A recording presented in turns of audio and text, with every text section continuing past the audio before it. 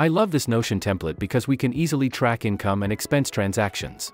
For example, I've received $1,000 this month, so I'm going to log a new income. I'll register it as freelancing, enter the amount of $1,000, assign it to my personal account, and categorize it as freelancing. So, I'll select the freelancing category, and since I received it today, I'll set today's date.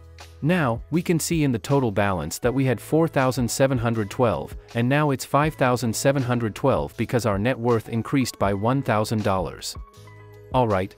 Now, if we check the personal account, we have $1,643 because earlier we only had 643, and since I added 1,000, we now have 1,643.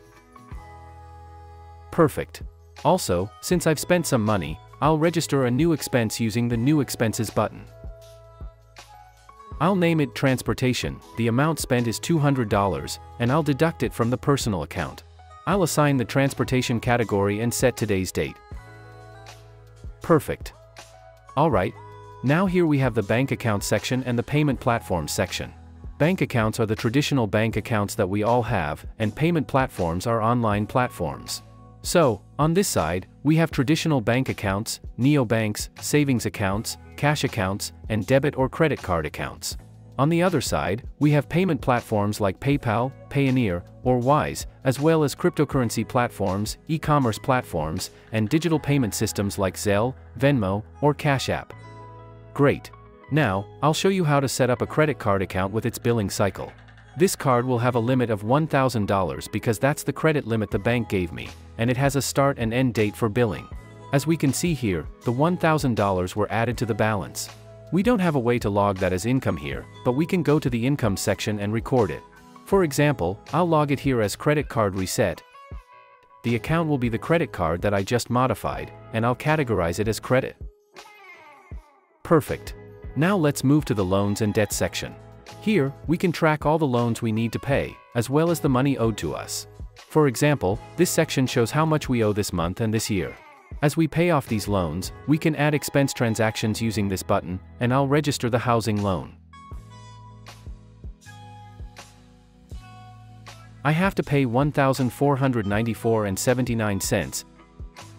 It is going to be paid with my personal account, the loan is the housing loan and the date is today's date. We can also track money owed to us. For example, I lent $200, which had a 50% interest rate, so the total became $300. It has been fully repaid, so the payment progress is 100%. The receivables indicator is at zero because there's nothing left owed to me. Excellent. Now, let's go to the main dashboard. I like to save a bit every month. In this case, I'll transfer $200 from my personal account to my savings account. Click on New Transfer, I'll name it Savings. It's going from my personal account to my savings account. Perfect, we've transferred $200 from personal to savings, and the date is today's date. Alright, now let's look at how to set monthly budgets.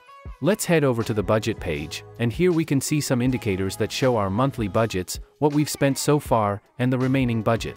I already had $200 set as a budget, but now we can assign more budgets to expense categories. Budgets are limits we assign to each expense category.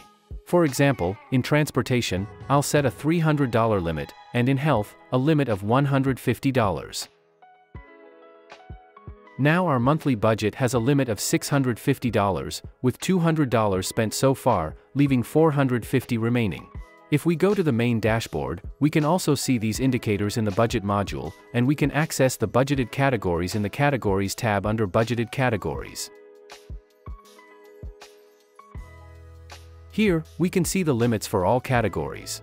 For example, we've already spent $200 in transportation, which was the expense we logged earlier. Perfect.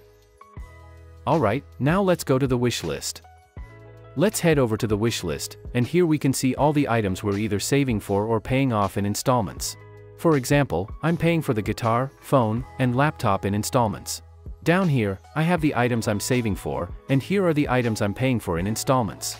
Let's log a new payment for the guitar, click New Payment, and type Guitar Payment.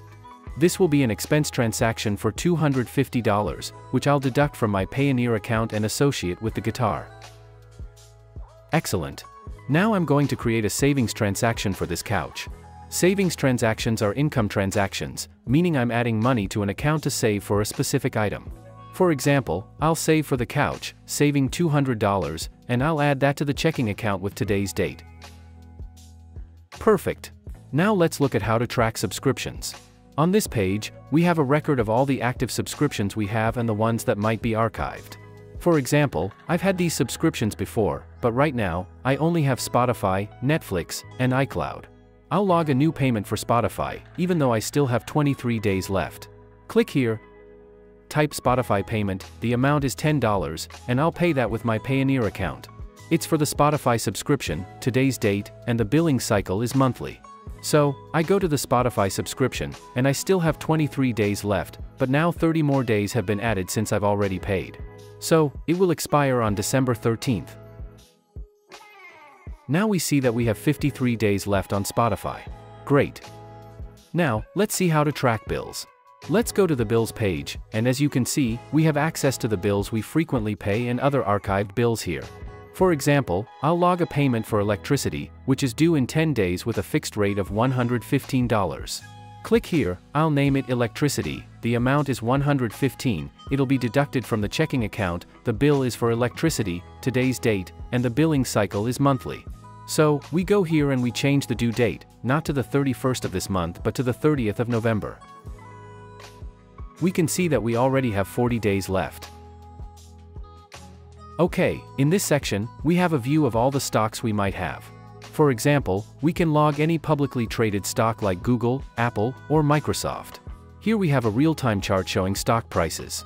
Right now, we're looking at Apple's prices over the past week, and down here, we have the sectors our stocks are categorized in, shown as a pie chart or in a table. Now let's go to the reports section. Here, we can find reports grouped by transactions each quarter. The last transactions I logged were for the last quarter of the year, which is Q4, and as you can see, all these transactions are reflected here. We have incomes, expenses, subscription transactions, bills, wish list items, and loans. That's great. We also have templates for 2024, 2025, and even 2026. If I want to have an overview of the entire template, I can go to the main menu, and in the main menu, I can access all the pages that make up this template, all neatly grouped together. If you want this template, I've left the link in the description for you to download it.